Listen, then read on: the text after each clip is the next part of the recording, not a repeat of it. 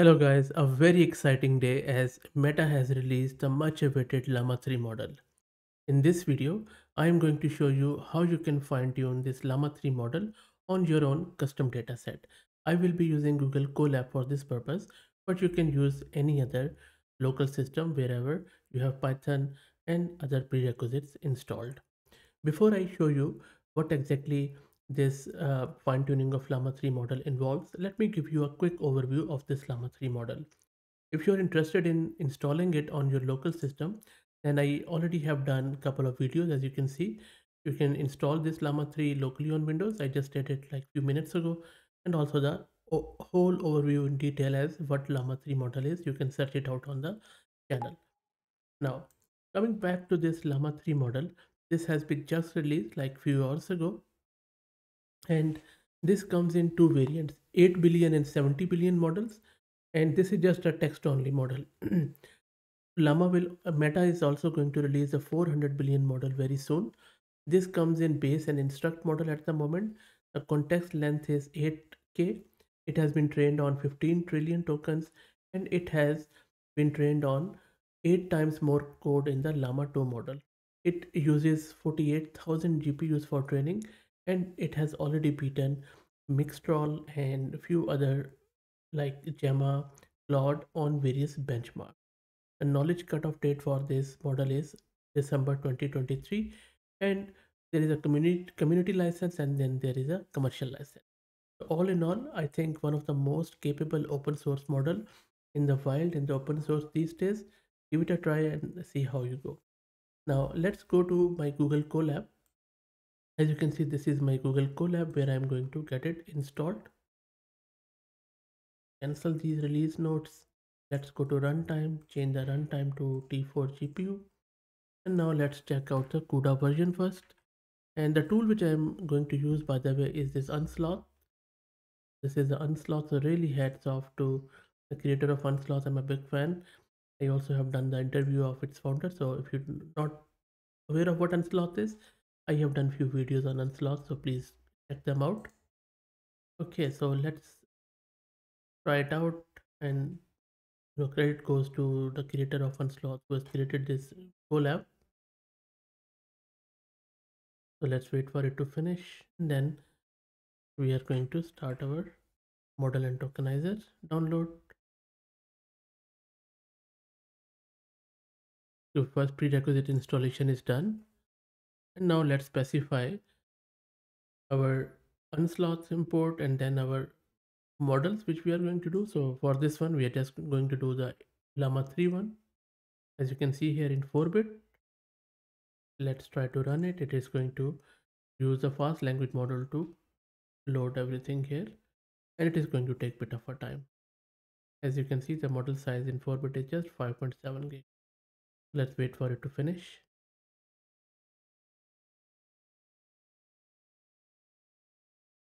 model is almost downloaded.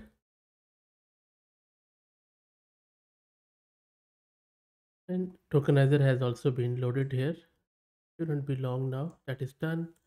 And now let's also add the LoRa adapter so that we would only update 1 to 10 percent of the parameters. That is also done.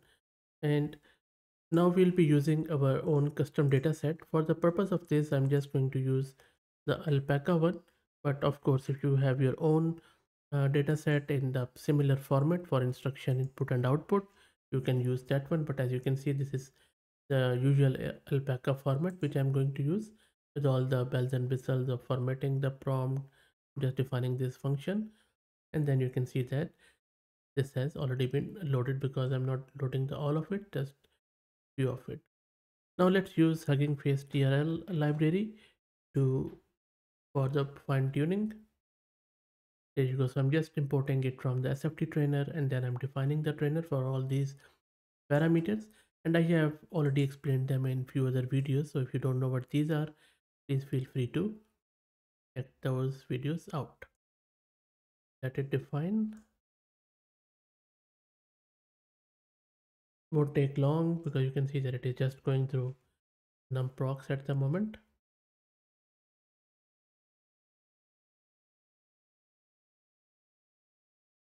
it is almost there.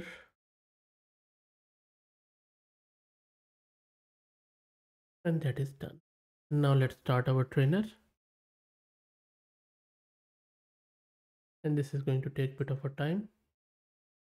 And unsloth actually makes it bit faster. If and i would highly suggest you that if you regularly fine tune your models then i would uh, highly recommend this unsloth in order for your fine tuning job special now this is going to take a bit of a time and interesting thing is that as it fine tunes it is going to show you the training loss and you will uh, see that this training loss starts coming down as it is making more and more passes.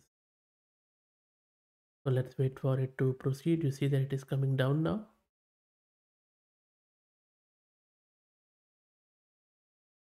So it is going to take bit of a time so i will let it run and then once it is near completion or complete we will resume.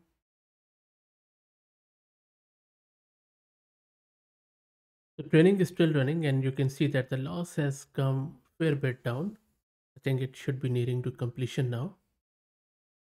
So that is i think almost done. Now, if you think about it, what we have done is we have just loaded the model, we have loaded our data set, and all we have done is we have just run that training fine tuning job there. That's about it.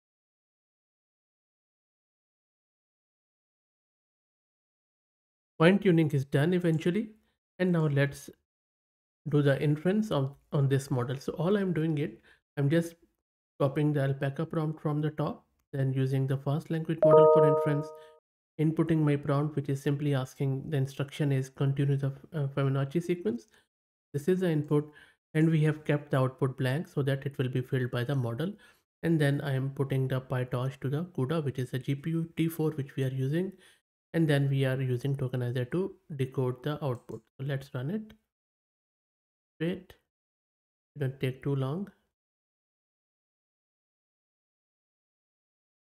And that is done and you can see that it has produced that uh, Fibonacci sequence and you can use any um, prompt of your choice. So this is how easy it is to get this model, use your own custom data set and just fine tune on fine tune it on any of the data set.